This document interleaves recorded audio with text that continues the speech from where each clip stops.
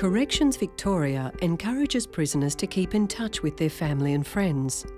Maintaining these relationships helps to reduce reoffending and contributes to community safety.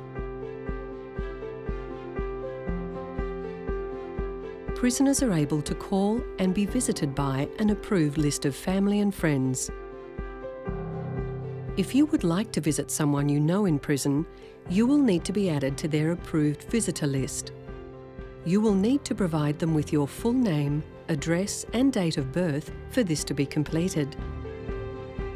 All visitors must also bring a valid form of identification to enter the prison. Check the ID section for further details. Prisoners can also receive mail from family and friends.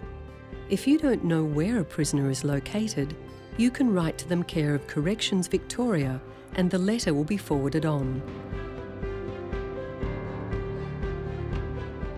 If you want to speak to a prisoner over the phone, you will need to be added to their approved phone list.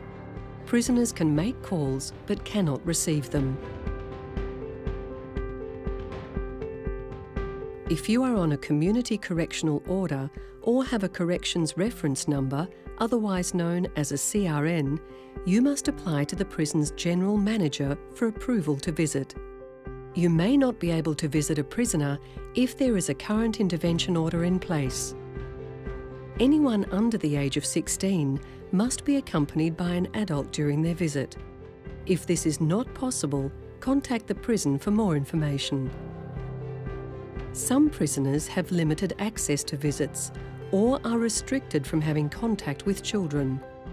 Call the prison first to check if you need to apply for special permission to bring children to visit a prisoner. Many prisons are accessible by public transport, with regular buses to and from nearby railway stations.